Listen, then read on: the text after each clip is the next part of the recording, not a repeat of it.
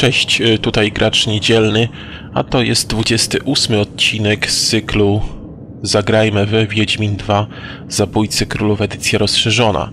Jestem w Lockmuin, e, a konkretnie w kanałach pod Lockmuin, gdzie w poprzednim odcinku, a właściwie w dwóch poprzednich odcinkach, po pierwsze e, odnalazłem z Nilfgaardzką ed, ekspedycją e, starożytny artefakt schowany w komnacie Dareny oraz po drugie w zeszłym odcinku stoczyłem walkę ze strażnikiem tutaj e, i uzyskałem nowy miecz. A w tej chwili w związku z tym, że ten miecz pozyskałem i jestem przeciążony, a muszę się powolutku udać na powierzchnię i opchnąć e, no, niepotrzebne rzeczy, także wybaczcie, że będę szedł bardzo wolno, ale naprawdę mam tyle fajnych rzeczy do sprzedania, a nie chcę ich po prostu bez sensu wyrzucać, także udam się po prostu do najbliższego kupca, nawet wiem do którego, a wiem to z y, faktu takiego, że no, grałem przecież y, już w ścieżkę Rosza i tutaj jeśli chodzi o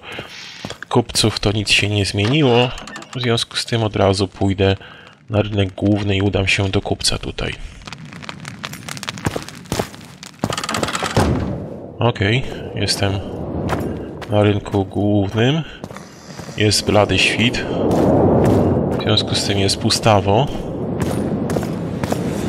Jest tutaj gość, którego poprzednim, z jednym, w jednym z poprzednich odcinków pokonałem a, w kości.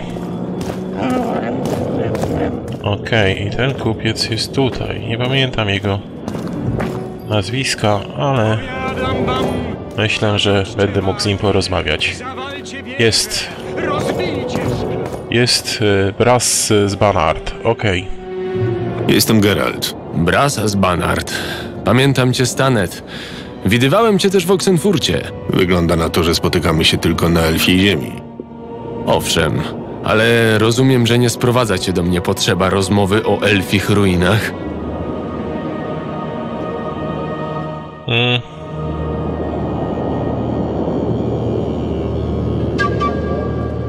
O, akurat ciekawią mnie elfi ruiny. Przeciwnie, Elfie Ruiny to ciekawy temat. Naprawdę tak uważasz? Cóż, dzieła elfów nie są w połowie tak interesujące jak gnomie. Jednak nawet zrujnowany Lokmuin robi wrażenie.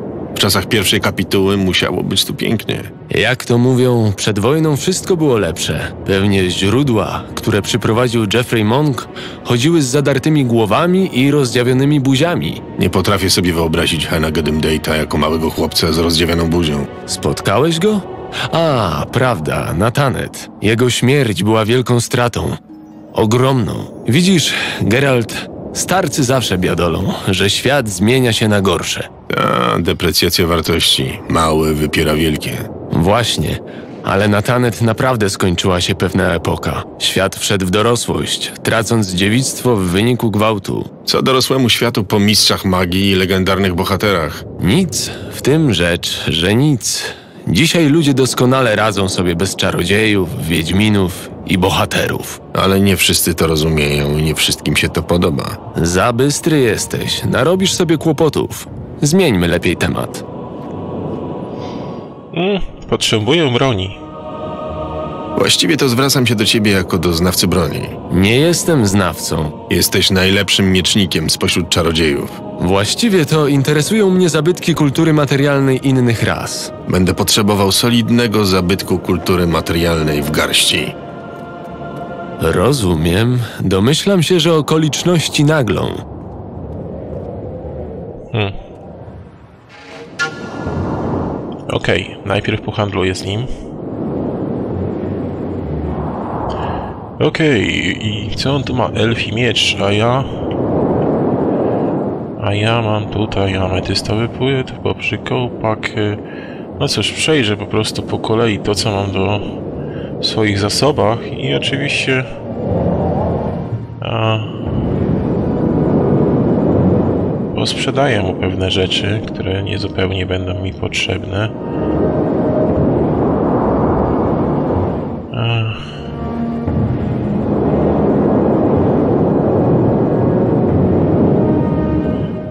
Kurczę, klucz mam.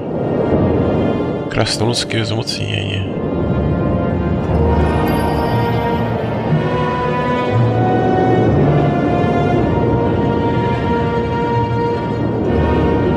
Miecz dowódcy. No on nie waży nic akurat, w związku z tym nie ma sensu, żebym go...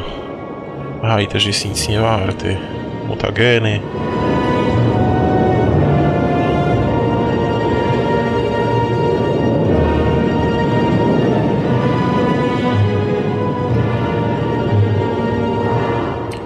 Oczy Neckera w ogóle w całości na przykład ważą 3,9, nie wiem, jakieś jednostki ówczesnej wagi pióra harpi, ożoga,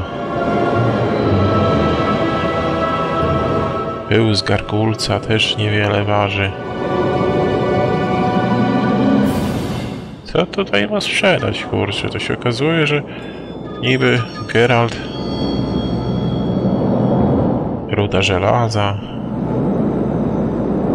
ruda srebra, ruda żelaza może 7 sztuk rudy żelaza mu sprzedam. Żeby się nie okazało, że później mi nie starczy do wykonania jakiegoś przedmiotu, tak? No nic, ale myślę, że jak będę miał ich 30, ich 30 sztuk, to jej 30 sztuk, to róg trolla nic nie waży. Aha. Schematy, schematy. serce Neckera. A na przykład jakbym sprzedał jemu 11 sztuk serca Neckera. Skóra oczywiście. Sukno nie. Szpony, szpony.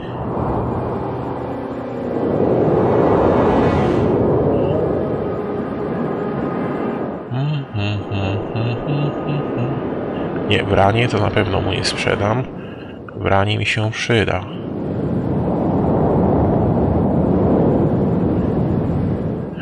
Zapomniany miecz wranów. O, shit. Zbroja Selthirka.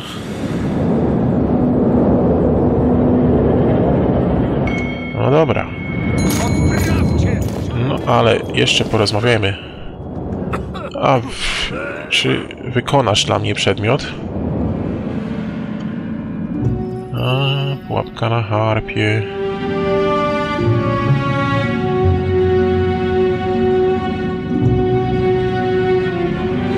Zbroja łowcy. A nie mam schematu na branie. Mhm. Jeszcze wejdę w swój inwentarz. I teraz zapomniany miecz wranów. E, jak to wygląda na tle Gwyrre. O. No ten niby ma więcej funkcji, ale może bym zapomniał ten, yy, znaczy zamienił, tak? Mm.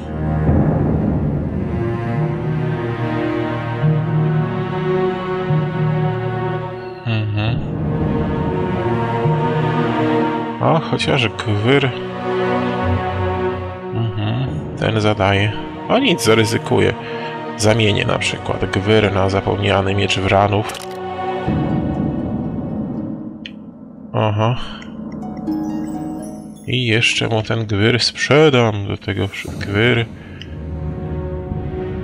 Mhm. Ulepszenie. Runa ognia, oczywiście. Wrzucimy ją sobie. Mhm. Tak. Runa ziemi oczywiście też wrzucimy. Runa ognia.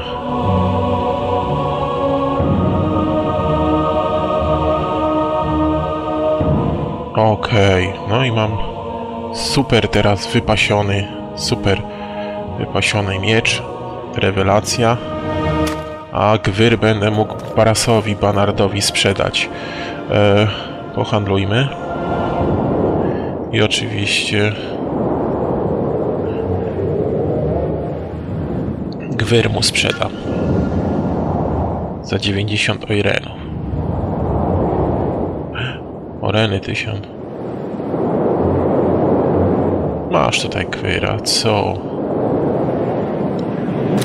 Dobra. Yy, porozmawiaj z Cynthią. Jestem już leciutki. Ile ja teraz mam e, obciążenia? No 290 na 305. Spoko. A w związku z tym mogę iść porozmawiać z Cynthią. O kurde, tutaj zapomniałem, że zapiszę się na wszelki wypadek. A zapomniałem, że... A, zaraz, zaraz, zaraz, jeszcze... Brasie, masz coś dla mnie? Bras. Aha, no to jeszcze pogadam z nim. Co te laski tak się tu kręcą? Hmm. Słyszałeś o dzikim gonie? Interesuje mnie dziki gon. Możesz mi pomóc? Yy, nie. Ptaki to nie moja specjalność. Dzięki. Mhm. No nic, Kasi z nim na razie nie będę grał. Uważaj na siebie. Spoko. Co tak ślepia wybałuszasz? Ale od was tuchnie. Poczułem, że coś cuchnie. Pomyślałem, że to łajno, a widzę, że to tylko redańskie psy. Że jak? Ty bydlaku obeszczany! Zaraz się przekonasz, jak kąsają redańskie psy! Na niego! No nie. Aha. O, pięknie. Bójka. Coś w stylu Wiedźmina, kurde. No dobra, dostał w ryło.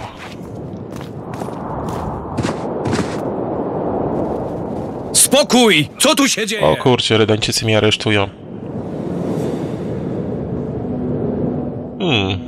Trochę się posprzeczaliśmy, nic wielkiego. Mógłbym to potraktować jako napaść na przedstawicieli Królestwa Redanii. Mógłbyś? Co się wówczas stanie? Trafisz do lochu, ochłoniesz trochę, a potem się zobaczy. Chcecie mnie zamknąć w jednej celi z Filipą Eilhart za zwykłą bójkę? Racja, nie jesteśmy potworami. Wystarczy drobny datek na rzecz zakonu i słowo honoru, że to się nie powtórzy. Datek i słowo honoru albo więzienie z czarodziejką. Dokładnie. Słuchaj, rycerzu, jeśli mnie natychmiast nie aresztujecie, rozpętam tu taką awanturę, że bitwa pod Brenną wyda ci się niewinną tarczką. Związać tego szaleńca i zamknąć go obok wiedźmy. no cóż, y, w prosty sposób osiągnąłem jakiś tam cel. No ładnie. Ty tutaj?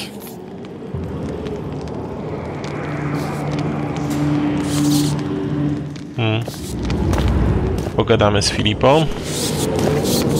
No dobra. Jeszcze się tu rozejrzy.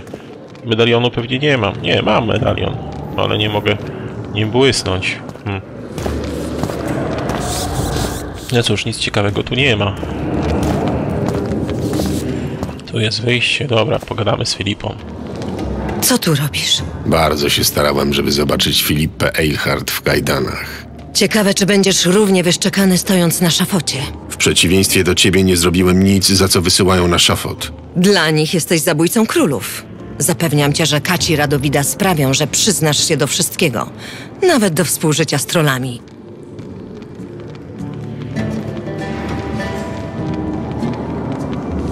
Radowit nie jest idiotą, wie, że jestem niewinny.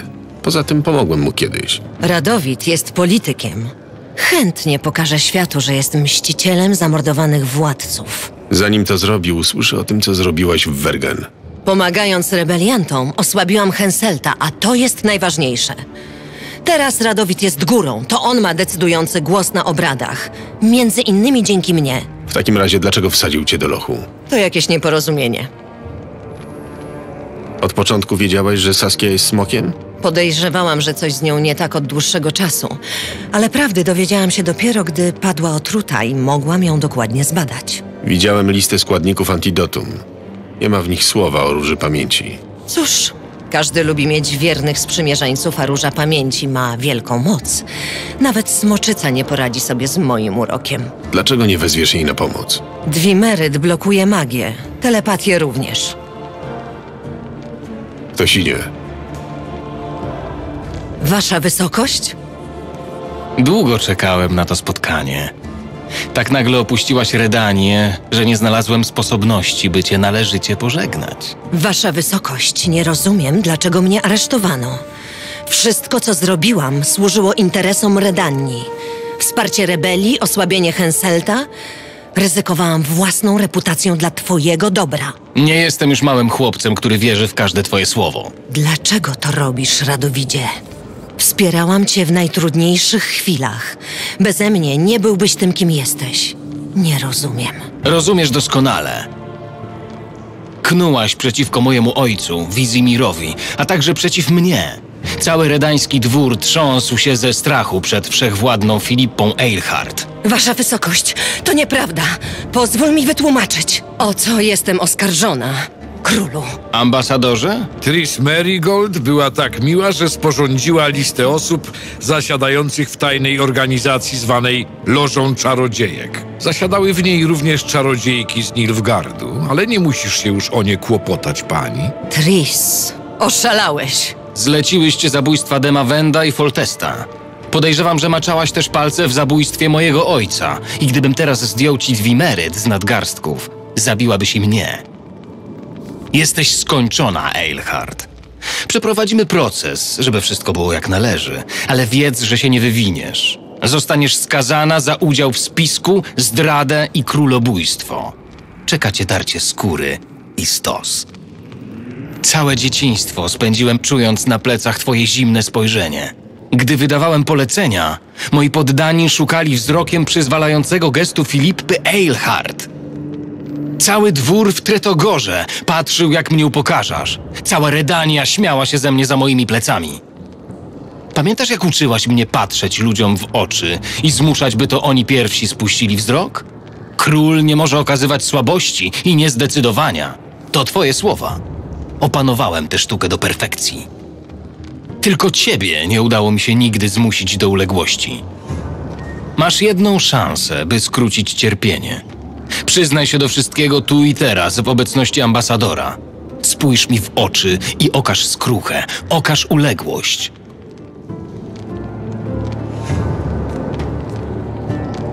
Twój wybór. Chcecie wyłupić jej oczy. Pełniasz wielki błąd, królu.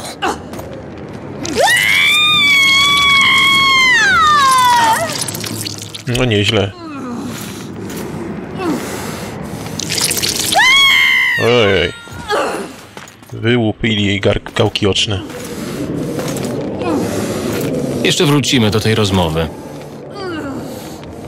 No nieźle, nieźle pod... Wierzyłem, kiedy mi powiedzieli, że Geralt z Rivi siedzi w moim lochu. Geralt, którego znam, nie dałby się złapać. Zawsze chciałem zwiedzić twoje lochy, panie. A co w nich takiego ciekawego? Goście. Musisz mi wybaczyć. Na szczęście Eilhart już wkrótce nas opuści.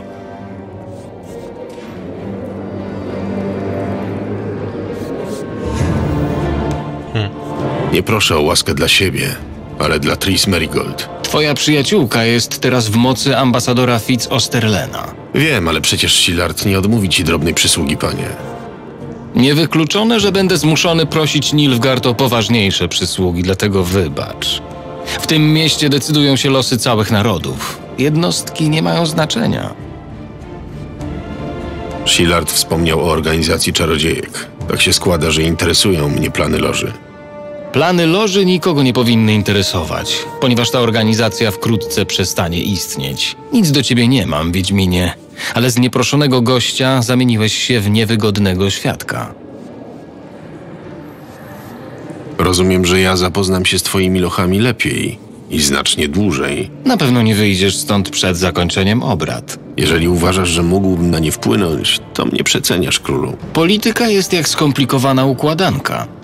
Każdy klocek może okazać się ważny albo bezużyteczny. W Lokmuin nastąpi przełom i tego przełomu dokonam ja. Nie będzie drugiego Tanet. Wkrótce wszyscy przekonają się, do czego zdolny jest król Redanii. Czas na obrady. Ta, zadufany Buc. Radowid jest zdolny, ale zbyt młody. Nie rozumie jeszcze, że tak naprawdę milczeć potrafią tylko umarli. Ponieważ Redania oddaje przysługę Nilfgardowi, ja również pomogę królowi. Wypuść Tris. To byłaby głupota. Jeżeli rzeczywiście istnieje miejsce, do którego udajemy się po tym Wespadole, to wkrótce się tam spotkacie. Pozwolisz, że wyręczę rydańskiego kata. O jaką przysługę chodzi? Możesz mi powiedzieć. Umarli nie zdradzają tajemnic. To prawda, ale jestem ostrożny. Obiecuję ci, że kiedy twoje ciało wystygnie, opowiem ci wszystko ze szczegółami. Żałuj, że tego nie dożyjesz. Lokmuin czeka duża niespodzianka. I magów, i królów. Nikt nie lubi, kiedy decydują za niego. A już na pewno nie król. Jesteś niebezpieczny, Wiedźminie. I zbyt niezależny. Aha, Przyjdzie rozerwę czas, że Radowid mi podziękuje. okowy. Przepaliłem je. Nie tylko Radowid. Zabijcie go. Tylko uważajcie na czary. Przytrzymaj go, Hart. O, nie tak prędko, panowie. Nie tak prędko. No i świetnie. Zabij fi Ocerserlika. Dawaj, dawaj, dawaj, walczymy. Wyprowadź mnie stąd! Najpierw odpowiesz na kilka pytań. O kurczę. Ta obu, z, łup- z wyłupionymi oczami.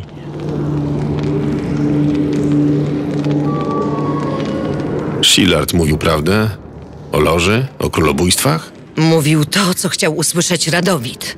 Półprawdy i prawdy wyjęte z kontekstu niewiele się różnią od kłamstw. Tris brała w tym udział? Pod tym akurat względem jest czysta jak łza.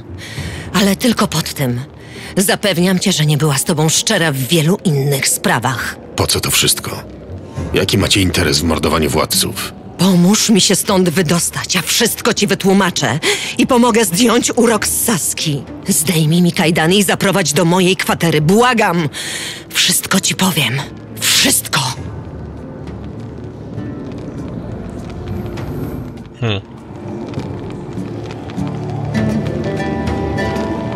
Gdzie ona jest? Gdy mnie aresztowali, była z Shilą. Pewnie wybierają się na obrady. Jak działa urok? Saskia nie jest w stanie oprzeć się mojej woli. Wierzę, że jestem najwspanialszą osobą na świecie. To tak, jakby była zakochana. Najpiękniejsze jest to, że zachowała pełnię władz umysłowych, swój czarujący charakter, waleczność, honor. Nie tropiłem cię sam. Jorwet nie może się doczekać spotkania. Moja śmierć niewiele zmieni. A tacy jak Jorwet nie mają prawa nikogo osądzać. No to mamy problem. Czas ucieka. Będziesz się mścił na ślepej kobiecie? Shillard powiedział, że mają Tris. Muszę ją uwolnić, zanim wyłupią jej oczy jak tobie. Wyprawa do obozu Nilfgardu to samobójstwo. Zostawienie przyjaciela to łajdactwo. Tylko ja wiem, jak odczarować Saskię. Wydostań mnie stąd. Jeśli zginę, na zawsze pozostanie pod wpływem uroku.